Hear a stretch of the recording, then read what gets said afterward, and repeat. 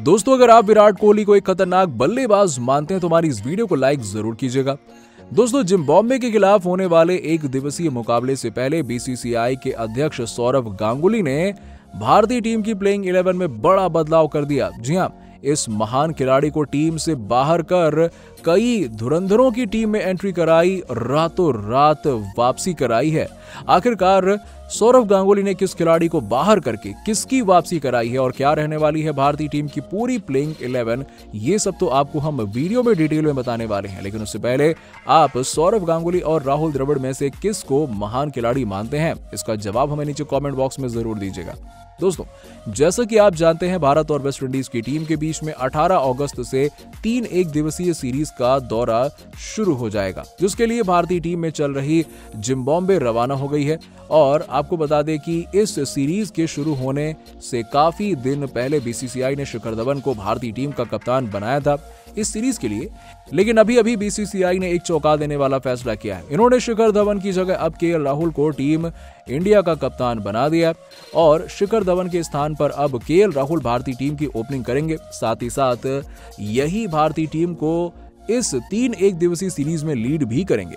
के राहुल एक बेहद ही खतरनाक बल्लेबाज हैं और इनका पहला शतक भी जिम्बाब्वे की टीम के खिलाफ ही आया था। और ऐसे में ये जिम्बाब्वे के खिलाफ ओपनिंग में आकर एक बार फिर से ताबड़तोड़ शतकीय पारी खेल सकते हैं। दोस्तों, अब हम आपका ज़्यादा समय ना लेते हुए आपको सौरभ गांगुली के प्लेइंग 11 के बारे में बताते हैं। और दोस्तों, इन्होंने प्लेइंग 11 में किसे रखा, ये सारी चीज़ें बताएँगे। इन्होंने सबसे पहले के राहुल और ईशान किशन को ओपनिंग करने के लिए रखा है, क्योंकि आपने देखा होगा कि भारतीय टीम की ओपनिंग में बार बार बदलाव किया जा रहा है एक्सपेरिमेंट किए जा रहे हैं। अब कोई भी ओपनिंग जोड़ी सही से प्रदर्शन नहीं कर रही है। ऐसे में बीसीसीआई एक और बड़ा बदलाव करके के राहुल और ईशान किशन को ओपनिंग में परखना चाहेगी।